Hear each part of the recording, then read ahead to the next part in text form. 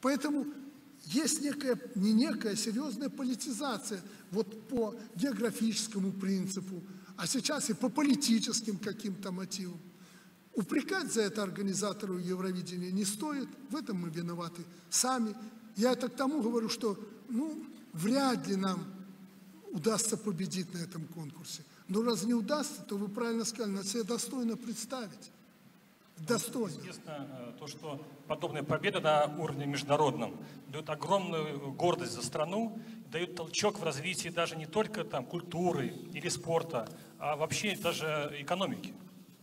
И если э, подходить к этому серьезно, то действительно надо э, ставить только на победу. И надо смотреть, каким образом здесь можно изменить ситуацию. Например, вот, быть может, мы слишком академично подходим к этому выбору.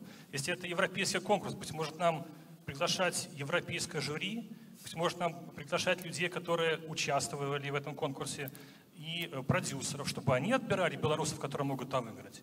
Либо э, выбирать так называемых фриков, которые могут шокировать, поразить чем-то Европу. И хотя бы, ну если уже не выиграть, то запомнится. Абсолютно вас поддерживаю в этом мнении.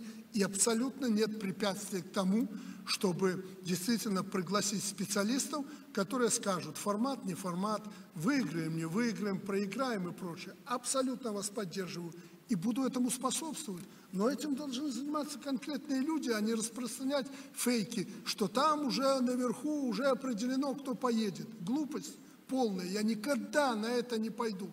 Никогда. Когда мы делаем все честно и объективно, тогда мы о себе заявляем. Пример тому мисс Беларусь, мисс Мира. Все было честно, откровенно, да, я контролировал, видел этот процесс – и знаю, что там было честно. Знаю, какие были хитросплетения и кто там чего-то хотел. Однако поступили честно. Ну, таки результат какой-то есть. Не так? Да, да, спасибо. Так. Вот у нас в культурном эксперт